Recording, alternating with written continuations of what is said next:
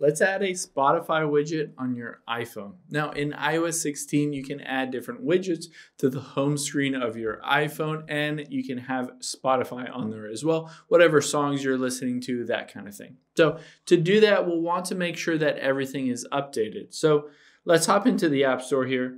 We'll tap on search at the bottom right, and then we will search for Spotify here and make sure Spotify is updated to the latest version. After that's done, we'll go into our settings here.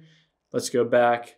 We will tap on General and then Software Update. So we want to make sure both Spotify and the iOS on your iPhone is up to date to the latest version. Mine is 16.3.1. So once you do that, you can just tap and hold on your iPhone screen and we'll hit that plus at the top left. Now, if I scroll down, I can just find where Spotify is on this list.